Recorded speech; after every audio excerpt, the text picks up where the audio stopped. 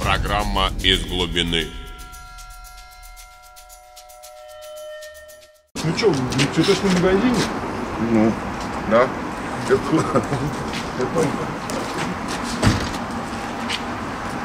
А Цветочный магазин. Кстати, в преддверии 8 марта заходите. Миллион роз, Клочкова 10. И если скажут, что вы от Павла Степина, вам будет скидка еще. Еще эти цветы можно курить. Сегодня мы в гостях у а, Павла. Павел Степин. Кто не знает, сейчас узнает. Я могу сразу сказать, что не подготовился. Абсолютно. Абсолютно ни к чему не готов. И если я что-то не знаю, то значит я хочу это узнать. И мне, значит, это интересно. И надеюсь, интересно нашим вот, зрителям. Это э, музыкант, лидер э, групп, в которых участвовал.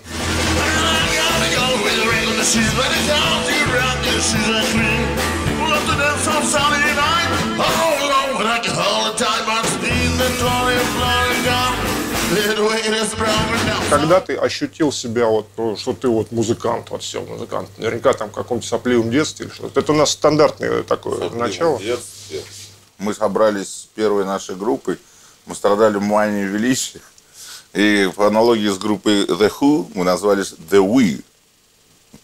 И все, мы, и все. Понимаешь? И тогда ну, на- начали играть, естественно, непрофессионально. И тогда я понял, Ну, когда? Какой это, год? сейчас скажу, это 11 класс.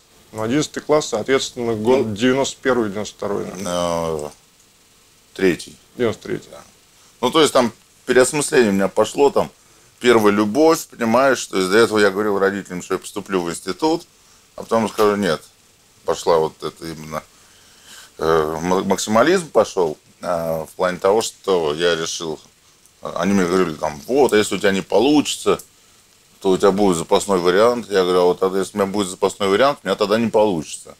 Поэтому я себе запасные варианты отрезал. Не пошел в институт, пошел работать и стал заниматься музыкой все больше там.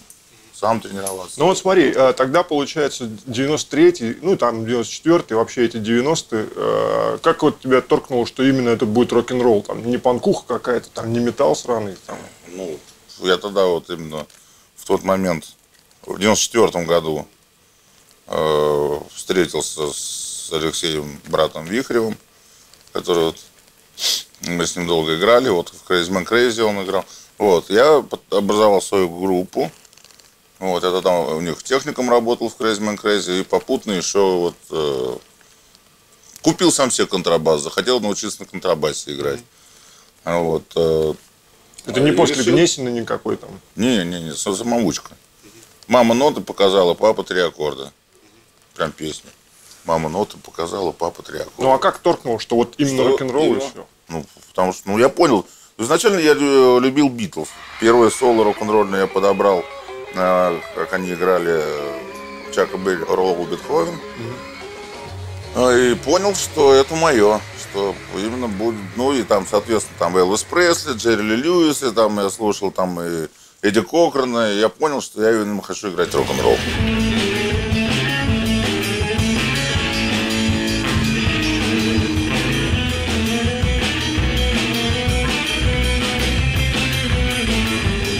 Первый ваш коллектив там полноценный, полновесный тогда, вот, на тот момент. Он не, не профессиональный. Я это была группа в 96 году. Я также с, с бывшим а, техником Crazy Man Crazy, он играл на моем контрабасе, а я был техником Crazy Man Crazy после него в 95 году, возил их на Победе. У меня первая машина Победы была. И мы с ним вот собрали группу. И еще там барабанщик был Андрей Сизов у нас. Группа называлась э, очень за- забавно. Мы только начали репетировать, и он такой говорит, это уже концерт у нас, Паш, через неделю. Я говорю, как через неделю? А, говорит, Надо срочно, говорит, название группы придумывать. И я, говорит, пока сказал, там, скажите, типа, там, вапаблу, бамблам, бэм бум. Вот. А мы сейчас быстро придумаем название. И он мне звонит, говорит, Паш, я хочу только, чтобы было слово шейкин в названии группы. по аналогии с группой Shaking Crocodiles. Была такая замечательная группа в 90-е годы. И недолго думая, тоже не размышляя, и Амани Велич еще не улетел из головы, мы придумали название Great Shaking Rockers. Все коротко, ну как, не коротко, конечно. Но записи Great этого ничего Нет, нет. этого нет. Ну, такое что-то любительское. Там, уже это такое полноценное, да. Ну, мы, да, Арбатская школа, опять же, ее никуда не уберешь. Мы на Арбате играли, ну, Ну а смотри, э, получается, наш э, рокобильная, сыкобильная э, сцена это зачастую 85%, ну, условно, да. А Это кавера, так получается. Ну, не, не, не согласен. Ну, смотря какая группа. Где-то есть только кавера, а у нас как бы пополам. Ну, не пополам, мы стараемся, не, по максимуму своего, но и кавера тоже, естественно, присутствуют. А что за клубы э, на тот момент принимали э, вот, ну, такую, такую вот э, музон? Или это же, в принципе, кабачатина? В 96-м почему был клуб «Не бей копытом», известный. То есть не кабак, а уже именно концерт. Такой, да, да, да. Вот там какие-то мелкие, там типа вот на Красных ворот. Ну, у вас вообще ДК ЗИЛ был у нас первый концерт. Был в 96 году, в январе 96 года. Эм, клуб, как забыл, как он назывался. Забыл, короче, как он назывался. Вот ДК ЗИЛ. Платили тогда что? Да, что-то платили. Ну, прям то, что, не то, что там- концерт, все там. Ну, то есть иногда ну, это самое, приходилось выби- выбивать, не в плане выбивать, а то есть, ну, ребят, ну, вот это самое, Давайте. давайте, ну, там, на договорных э, условиях, там, давайте мы там по 10 рублей. А у нас такой еще там директор, типа, типа директор Лелик был. Так, а мне, директору, еще 10 рублей. Ну, Образно говоря, как-то вот так вот было весело. Ну, то есть практически и ко- коммерческая такая основа, в отличие от тех же панков разных, которые всю жизнь там знаю, за бесплатно как бы. Ну, в общем, да. Но, есть а потом начался такой период, что ты попал в легендарные... Crazy Man Crazy. Меня позвали ребята играть. То есть, надо видеть, что я уж как бы там играю, развиваюсь. Вот. А, У них тогда их клавишник э, Алексей Блохин уехал в Штаты. Вот. И мы, значит, играли там то в четвером, то втроем, там разные периоды были.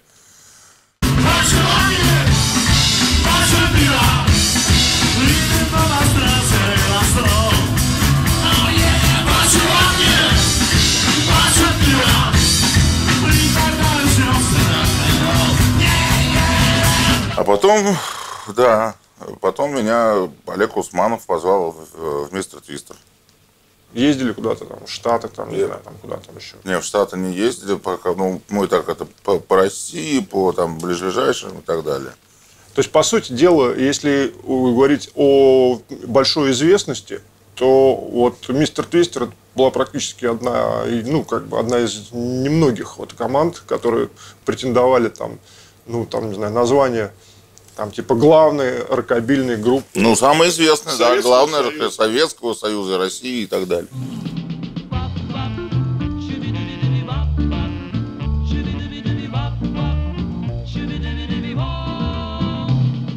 Так вопрос о том, что я вообще не в теме и не знаю. Вот на втором, на третьем месте были какие-то вот команды, например, тоже вот так, чтобы сказать, вот это тоже рокобильная команда, российская, там, там, Ну, советская. на, на- на тот момент вот по значимости, По значимости, да. вот, ну, Crazy Man Crazy по-любому. Это Шампудняк, и даже я у своих очень многих, многих друзей подсадил на рокобили именно благодаря Crazy Man Crazy. То есть они Мистер Твистер знали так чуть-чуть, ну, в смысле, кто-то чуть-чуть, кто-то побольше, а именно Crazy Man Crazy, когда услышишь, они прям это, у них крышняк так все снесло, потому что немножко, скажем так, ну, Вадим Дорохов к тому моменту умер уже, да, а Crazy Man Crazy, вот именно там середина 90-х, они были действительно крутая группа. Ну, хорошо, а на третьем месте? Так если назвать. Ну, хорошо, еще Минтрейтерс, можно сказать. Ну, это да, если Кабили, это понятно дело, Минтрейтерс, согласен абсолютно. Ну, это получается из всех друзей, группа Стрессоры, Стула, Rattlesnakes. Э, Юра, кстати, Судковой после меня играл в Мистере Твистере. Вот это интересно, получается, что это можно, э, кто не слушал, все это как бы нагуглить и послушать. Да, согласен. We'll fly up the stream.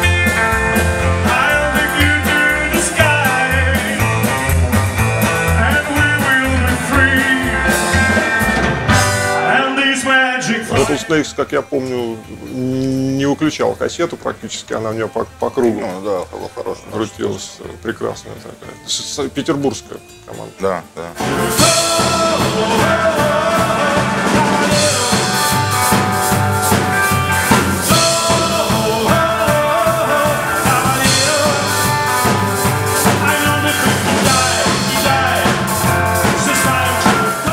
А, на тот момент, вот что вспомнил, группа Steam Engine была обалденная.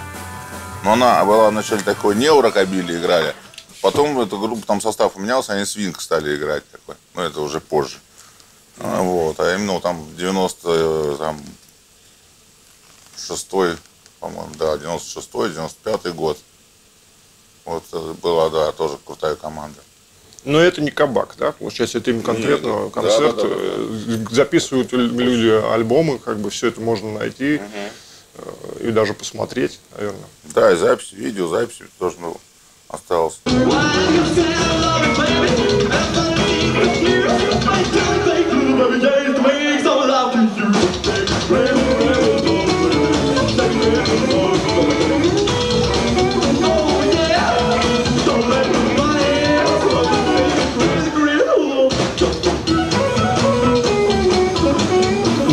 Получается, что сцена достаточно немаленькая такая, как бы. Ну, Да. то есть это не, не какой-то там Ну, а клуб. сейчас еще больше появилось, э, там молодые группы появляются, и в рокобили, и в сайкобили, что иногда не успеваешь отслеживать. Жизнь поменялась, стал семейный человек. Это я раньше на каждый вообще концерт ходил, там это не пропускал. А тут теперь как бы реже появляюсь.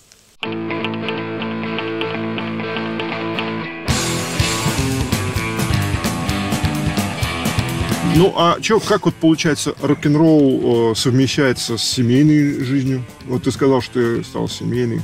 Я стал семейный, да. Семейная жизнь, она благоприятная, а, влияет на, что как бы жена всегда ог- ограничивает в этом деле. То есть это сдерживающий фактор. Потом руль тоже ограничивает. Так что А с музоном? С музоном? музон нормально, она она знает прекрасно. Мы очень давно знакомы. Она любит мою музыку, ей нравится. Поддерживает там. Да-да-да. Так что Ну, а дети? Дети, у нас сыну 17 лет, мы с ним иногда вместе играем для мамы что-то. А самое интересное, расскажу такую штуку. Э, Много лет назад э, я в школе был, когда у нас там делились на брейкеров и металлистов все, мы с, там, с моим другом Серегой были два битломана. И у меня было четыре значка Битлз, я носил на школьной форме. И э, учительница там подошла одна, Галина Александровна, и говорит, это не ваша музыка, вы ничего в Битлз вообще не понимаете, это музыка нашей молодости. Теперь у нас сын слушает 17 лет кино и гражданскую оборону, что я тоже слушал его в возрасте. То есть утащили его в сторону И- рока, от рэпа Ну, подальше. Нет, а он, да, он там рад. И мы поехали на работу за мамой. А, и я, говорю, что ты? А я там пока машину чистил. Берем гражданку слушать. Я говорю, давай вставим сюда. Я молодость помню. Смотрю, сидит и все слова знает. И тут я вспомнил слова, говорю, что ты знаешь, молодой гаденыш, блин, про гражданскую оборону, это музыка моей молодости.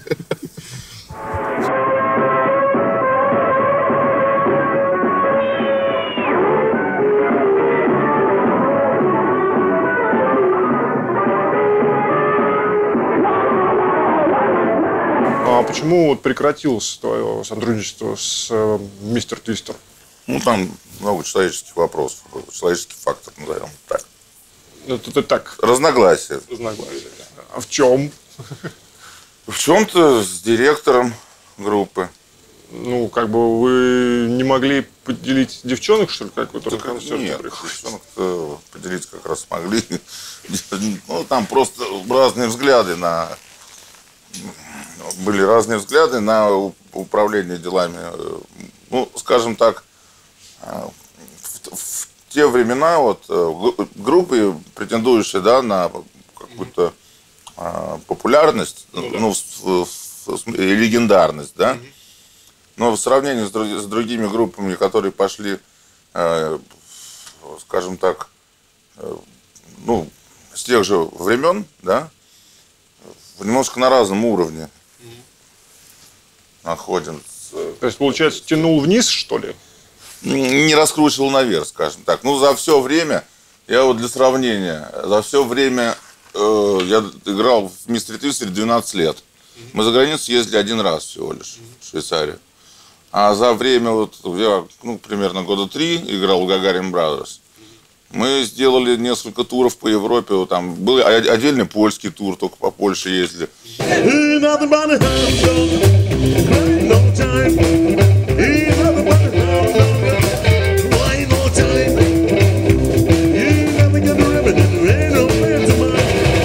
Польша, Германия, там э, Голландия, и, то есть там много городов. И несколько выездов у нас было, то есть там ну, не меньше четырех, как минимум, турне Ну вот, конкретно по кстати, Европе. э, Как раз плавно переходя к Gagarin Brothers. Я помню э, на концерте Nekromantix.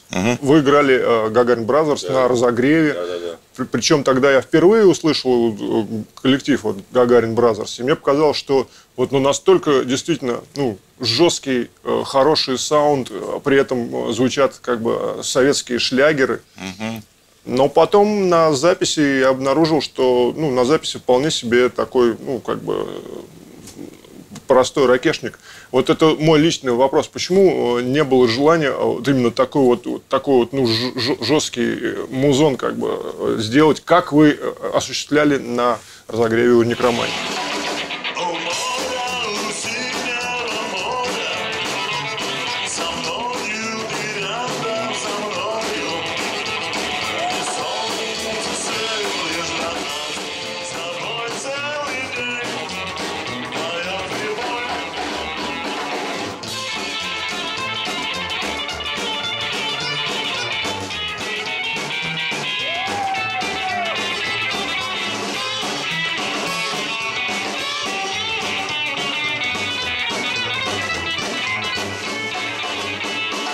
Тут уже это немножко не совсем от всех музыкантов, еще и звукорежиссера зависит, кто это. Его видение нашего саунда. Ну, то есть ты эту жесткость при- приносил, получается? У тебя же там гитара, да, там ну, какие-то примочки. Там. Ну, скажем так, предыдущий состав э, Gagarin Brothers э, звучал, скажем так, более так это Ну да, да, лайтовый. По- То есть лайтовый, он да, не совсем слово, такой, слабо. как, ну, шлягер и слабо шлягер. сказано, грубо говоря. А я одной тобой любуюсь,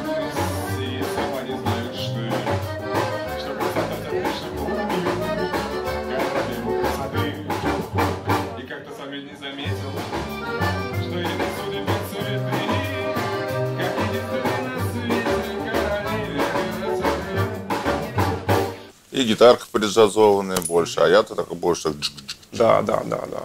То есть, как бы, э, получается, ты вытягивал группу от кабака. Ну да. Там была ситуация такая, что э, почему мы с Некромантикс играли, а не какая-нибудь там сейкобильная группа. Потому что Ким Некроман такой, э, вот со слов нашего директора, он говорит, ну, блин, как бы задолбал уже все вот эти вот, столько этих групп сейкобильных переслушал. Хочется что-нибудь такого вот необычное. И Саня Голубев влез и предложил вот немножко другую. Там с аккордеоном вот мы играли. Вов Кудряшов играл на нас. Вроде как и, и на контрабасе джаз играет, причем вот, который джаз из Минтрейтерс, легендарный контрабасист. То есть там мы с ним иногда там он там это любил вставить какие-нибудь. Ну, то есть мы играли там и советские какие-нибудь там песни, там «Королеву красоты». Или там, допустим, Белла Чао, там The world is rocking inside my window. Or Белла Чао, Белла Чао, Белла... Там интересные такие были моменты. То есть Белла Чао такой бы в Сай- в Сайкобиле сделали.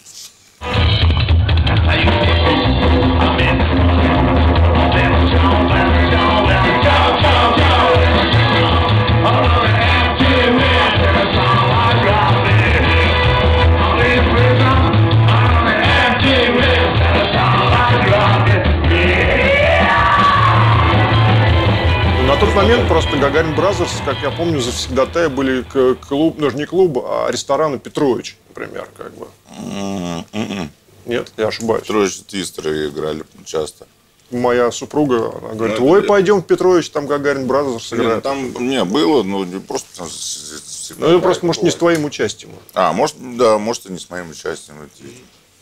То есть я к чему? Я к тому, что ты все-таки от кабака-то утаскивал как бы, ну, в сторону как бы Ну, хотелось, да, музла. такой более широкой И? сцены. Твое участие в Gagarin Brothers завершилось, получается, так что ли? Джесс, он как бы э, организатор группы, ли- лидер, да, группы. Ну Вот. То есть, и в какой-то момент у нас тоже с ним дорожки разошлись в плане там, может, я одеяло на себя перетягивал, то, что там фронтмен, в конце концов, я, да. Ну и там пошли всякие разногласия не- не- небольшие. То есть поначалу все очень хорошо, я считаю, отличный состав был. Потому что потом то, что сейчас происходит, я слушаю, уши вянут, если честно.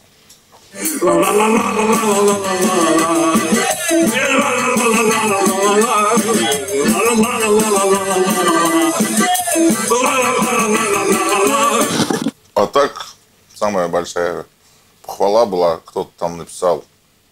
Играли мы э, в Тюмени, там большой фестиваль какой-то был. И мои друзья Король и Шут играли. Мы с ними давно очень классно познакомились. Играли вместе в одном фесте. Сам понимаешь, куча там поклонников Король и Шут. Э, И одна поклонница потом написала Гагарин Браус, а были даже круче, чем Король и Шут. Ну, то есть, к тому, что мы там по-другому. Мы в одной гримерке встретились, обнялись, как старые друзья. Мы с ним в 99 году классно познакомились в городе Байкальске. Трехдневный музыкальный фестиваль, 10-тысячный городок и трехдневный музыкальный фестиваль на стадионе. Вначале бабы с кокошниками там танцуют. Ну вот потом э, там местные панки и металлюги там э, идет. То есть люди меняются на сцене, музыка не меняется. Вот. И три хедлайнера были. Вот, э, Бонни Нем были, по-моему, там, да. Бонни Нем, Король и Шут и Мистер Твистер. И мы, а мы прилетели вначале в Улан-Удэ. Мы из Улан-Удэ туда поехали. И прилетели, и мы с ежом такие пошли по пиву возьмем. А там адмирал Колчак, местное пиво. И он первый, второй, это как Балтика, там куча номеров. Попробовали, адмирал Колчак, ну, интересно, экзотика. Потом уже доехали до Байкальска, таких ходим. Елки-палки, адмирал Колчак уже вот здесь, вот уже тошнит от него. Ешь, пойдем найдем что-нибудь другое. Мы пошли, находим третью Балтику. Ты не поверишь, нам это показалось просто. И мы взяли ящик и вот так вот тупо парням заходим, там с ноги дверь. Привет, король мы мистер Твистер, давайте пиво пить. Так познакомились по-рокерски, так по-нормальному.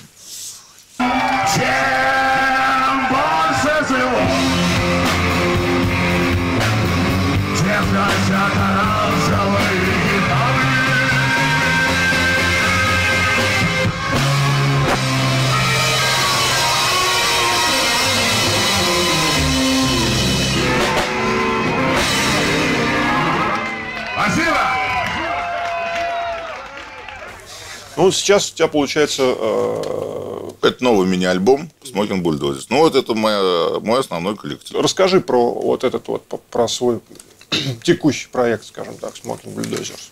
Вот Этому текущему проекту уже 15 лет, и как раз мы эту пластиночку сделали а, к 15-летию группы. Я просто посчитал, говорю, вот в конце лета или начале сентября, а, я говорю, парни, а у нас же 15-летие, дайте-ка это жопы поднимем и быстренько что-нибудь сварганим, запишем хотя бы сингл или там мини-альбом, хоть три песни, хоть пять, вот сколько получится, сколько успеем.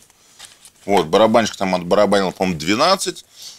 Вот, Леха, брат, записал там тоже что-то. Вот. Ну, в общем, решили выбрать вот пять песен. Э, Две на русском, две на английском и э, одна сайкобили инструменталка. Ну, вот. Плюс еще вот спасибо нашему другу Коле, который снял видео, и тут еще два бонус-видео присутствуют. Mm-hmm. Так что заходите к нам на огонек, на концерты, и покупайте тут. А заодно вот и посмотрим.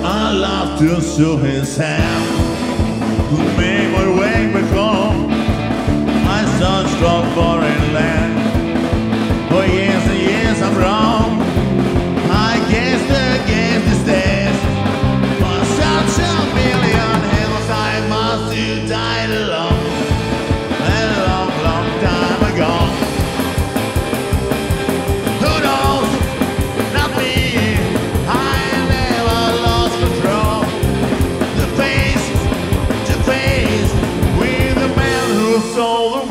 Smoking Bulldozer используется бас-гитара. Ну, и контрабас, и бас-гитара. Ну, на концертах, как правило, да, бас-гитара. Ну, а тебе вот больше как, как-то чувствуется какое-то различие и как, что больше нравится? А различным, ну, конечно, контрабас больше нравится. Ну, его же надо возить, понимаешь, а тут возить, таскать, а уже как бы лень, возраст не тот, как бы. Ну Да, понятно.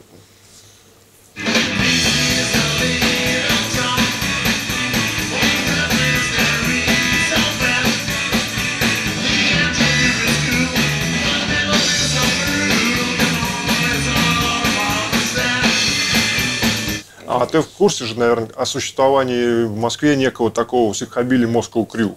Да, конечно.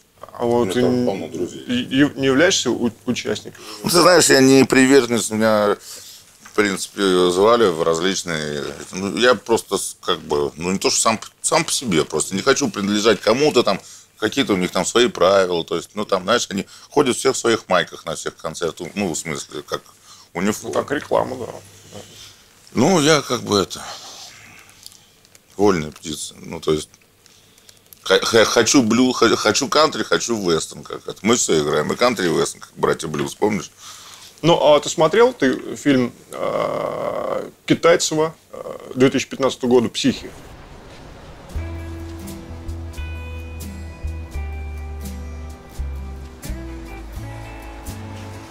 Конечно, смотрел. Ну, как тебе? Мне понравилось. Многие критикуют. а, ну, кому-то не нравится, кому-то нравится, кто-то начинает обсуждать там эти проблемы э, националистические. Там, Ну вот так далее. э, если говорить как раз вот про националистические проблемы, то есть, по сути дела, фильм говорит о том, что психобильная движуха, вот какая-то вот движуха, мы не будем говорить там психобили Москву Крю, Ну да, да, да. скажем так, что какая-то отдельно взятая движуха. Вот это конкретно, типа, Ультраправые. виду? Ультраправые. Не, ну, в нашей стране, да. Слушай, Майя, ты скажи мне, ты еврей?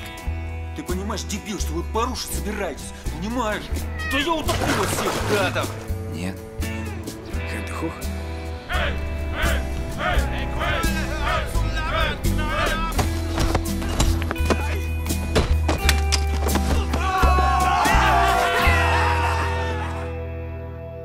да как, как так, откуда они это взяли вообще все? Самое интересное, это у них спроси. Не, Самое ну это же интересное, получается поклепа, пропаганда. За это можно чуть ли не в суд не знаю, э, обратиться. что, э, Смотри, как правило, эти самые вот э, психи в Европе, они вот, те же медицины, они наоборот антифашники. Ну, например, так. Да. И вот э, даже, насколько мне известно, папа из Метеорс Полфеник отказался играть когда-то с Минтрейтерс после их вот этой вот фотографии, типа, из рук, где они с Востон сделали. Вот. Причем Ну, ни в одной песне там ни о чем таком. Да, таком том-то и нет. Ну, Фотографии может, тогда сделали. как прикол, э, как вот здесь мне рассказывал Богорат, типа, Да, там понятно, просто это- решил это...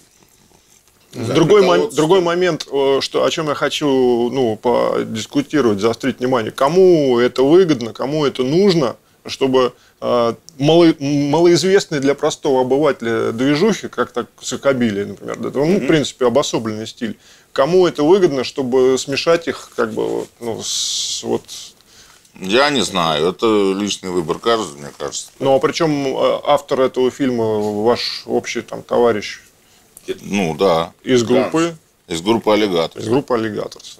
Ему это зачем? Я не знаю, может, это просто режиссерский опыт, там, я никогда не в этих штуках не замечал. Вот. То есть, есть конкретно, да, люди, которые вот ультраправые из тусовки, а э, он просто, я не знаю, он просто решил сделать фильм про психу. Ну, а не кажется тебе, что у нас в стране э, некий такой вот э, искусственный зажим всего вот, э, вот этого ну, неформального, скажем так, движения. То есть, как 30 лет на, на сцене Киркоров э, с Пугачевым выступали, Это так да. они и выступают. Но а в 90-х же годах, э, ну, после значит, развала, после вот этих всяких э, потрясений и ситуаций, э, на, на ТВ же стали появляться как бы, и всякие железные марши, с- Да, пау- пауковская туса. видишь, И когда- зеленый коридор, э, вообще без интерпрайзер канал два- дважды два, это Ну, хорошо, а радио СНС? Радио Вообще SNC. просто красота была. Я слушал там. а потом раз, куда-то все и пропало. Ну, либо сменилось, кто-то там свыше сменился. Там, Но у тебя есть мысли, зач- Финансирование зачем это, что это, зачем, почему? Заговор. Не знаю. Честно говоря, не знаю. Ну, а что, это все в жизни меняется. Но, с другой стороны, можно озвучить такую мысль, что типа, ну, это же коммерчески невыгодно, а зачем нам поддерживать Ну, да. проекты, которые коммерчески невыгодны? Это Тогда отсюда согласен. вопрос, а почему это коммерчески? Во всем мире это вполне себе, ну, как бы имеет место быть, а здесь, понимаешь, коммерчески невыгодно. Как так? Ну, смотри. Э, Я столкнулся один раз э, с таким, э, ну, типа, о, а вы это самое там, ну, там, в поездах где-нибудь там люди выходят, а вы там, а что играете? Я говорю, Элвис Пресли знаешь? Ну, как правило, Элвис Пресли знает почти все. А я один раз сказал, нет. У меня глаза чуть не вылетели. Ну, как, Элвис и Пресли, ну, я же там, я понимаю, там с какими-нибудь гопниками встретились в этом, в Кирове. Э, типа, ребята, а что играете-то? а?» Я говорю, рок-н-ролл. Ага, ну мы придем, мы там всех знаем. Спишите? Знаешь, всех знают, но впишите. Вот. И, и Рома, барабанщик, их там, значит, шейкер говорит, слушай, говорит, Паш, ты правильно сказал, что рок-н-ролл не стал вот рокобили это вот выпендриваться, а за рокобили тут мало ли там, чего, блин. Вот. Но Верку Сердючку знают все, понимаешь? Киркорова знают все. Ну, правильно, если это форсируется, так это... Ну, естественно. И получается, что форсаж это а, как бы неформальный, ну, любой, даже не обязательно рокобили, сакобили, да хоть там, ну, там много, ну, много движений, там даже электронной музыки, как бы. И все это не то, что не форсируется, а как мы видим, фильмы Ну, показывают, что это полное... смотри, тут фишка в том, что как называется, как примелькаешься на телеке. Сколько тебя видит народ, значит, тебя знают. Соответственно, там финансовая составляющая. э, То есть ну, у нас таких денег нет проплачивать свой этот сам. Если снимают, хорошо. Если не снимает, да и насрать. Передача-то была, это, Швыдкой вел. Мурат Насыров там все время появлялся, он светился, он старался, потому что его забыли. После мальчик в Тамбов, он, хоть в Тамбов он взлетел, а потом раз, и как бы на спад пошла карьера, и он, его перестали показывать. Он все время светился в этой передаче, чтобы быть как бы, что, мол, я живой, туда-сюда, а потом не справился, и лепешка. Ну и в итоге к чему мы пришли? К тому, что сейчас э, очень популярный э, стиль, не будем говорить какой, э, и захвативший все Да попса, это как оно было. Есть ли попса? Попса это Мадонна, Майкл Джексон, а тут Нет, это не попса. Попса это вот, это поп-музыка. А попса это уже, это, сам понимаешь. Ну и получается, она у нас форсируется, хуй бы с ними. А, тут такая мысль возникла, а нет ли, э, например, желания э, замутить что-то такое, ну, чего еще не было, например, технобили, Технобили. да. Гитара, синтезатор, вокал. Ну, то есть барабаны не нужны, драм-машины с какими-то звуками мощными, вокал. Я на самом деле не против экспериментов, наоборот, даже интересно там. Ну вот, дарю тебе идею. Спасибо. Ну, я, в принципе, знаю, он и стрейкэс с драм-машины играли. Не, ну я имею в виду с такой драм-машины, которая уже понятно точно, что это драм-машина. Там биты, ну, биты. Одно слово биты. Ну, что за... какой-то, ну, какой-то, ну, какой-то, ну, какой-то, да. Ну, да. Контрабас. Например, Не, ну то- то- тоже через примочки какие-нибудь. Не, мы делали такие эксперименты. Вот у нас этот, первый, вот, ну, точнее, полноценный диск Смокинг Бульдозерс. Мы там делали такой космобас начинался. Он такой через это через это. И плюс на барабаны, естественно, там как бы такие э, тоже там интересные звуки были. If.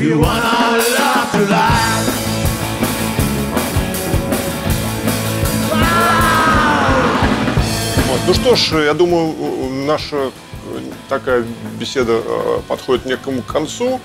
Если народ, смотрящий данные программы, не считает нужным как бы благодарить донатами, ничего страшного.